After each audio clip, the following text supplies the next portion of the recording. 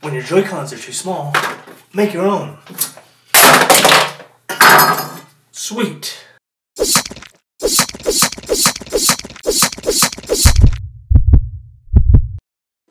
Hey guys, Devon from DCON here, and I love the Nintendo Switch, but I've always hated the Joy-Con controllers. Now, don't get me wrong, the Joy-Con controllers are an amazing piece of hardware, and I love their overall aesthetic design. It's just I've always found them to be a bit uncomfortable whenever I use them in portable mode.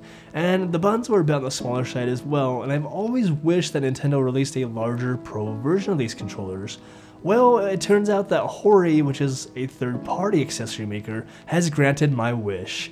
They have just released a larger Pro version of these controllers for handheld mode, and it's called the Split Pad Pro. Split Pad Pro. Say that three times fast. Split Pad Pro, Split Pad Pro, Split Pad Pro, Split Pad Pro.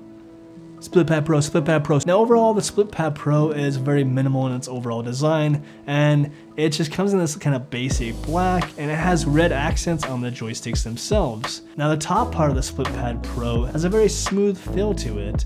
And flipping the controller over, we can see that this portion here where your fingers wrap around is nice and textured. Also on the back here, you can see there's an extra button labeled FR and FL.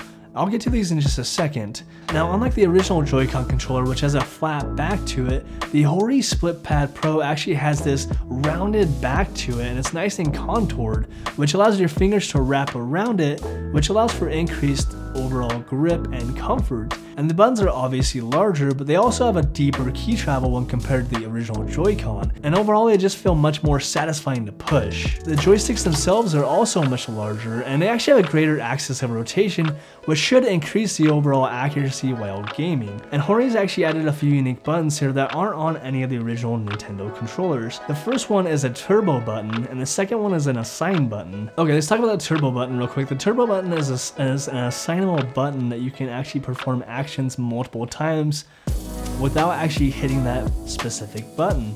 So to explain this a little bit better, let's hold up an example. So in Mario Super Odyssey, if I wanted to continuously throw my hat, I would assign the turbo button to the hat throwing action, and when I activate this turbo button, then Mario will continuously throw his hat.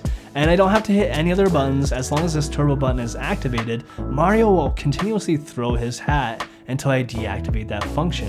Now this is something I honestly will never use myself. I'm not kind of a competitive gamer. I don't have any interest in having an action repeat itself but it's nice that it's there in case I ever want to play around with it. Okay, let's look at the assign button real quick. You remember those buttons on the back of the controller, the FR and FL buttons? These are the buttons that you can actually assign a function to. Okay, let's say I wanted to use this back button to jump in Mario Odyssey. I just have to press the jump button and this assign button at the same time until this LED lights up, and now whenever I press this rear button, Mario is going to jump as long as this assign button is activated. And as much as I love the Hori Split Pad Pro, is not a perfect controller and there are some negatives to having this as well. So my first negative is the overall construction of the controllers itself. They're constructed from plastic, and while it's think a very durable plastic, it still feels very, very cheap. And my second negative is the way these actually fit on the Switch itself. Even though these are an official licensed product from Nintendo, they don't fit perfectly on the Switch. And by that I mean it doesn't perfectly align with the Switch itself. There's actually a quarter inch kind of gap between the top of the Switch itself and the top of the controller, and it just doesn't sit flush. And this doesn't affect the overall function of the controllers, it just kind of bothers my OCD-ness and it just doesn't look very, very clean. My last and final negative with the Hori Split Pad Pro is actually the overall button layout.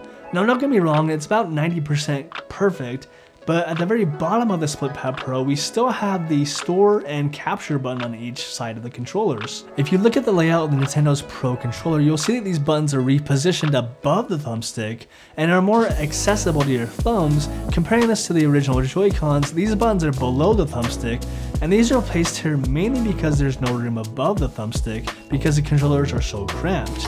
Now, Looking at the Hori Split Pad Pro, there's plenty of space above the thumbstick for these buttons.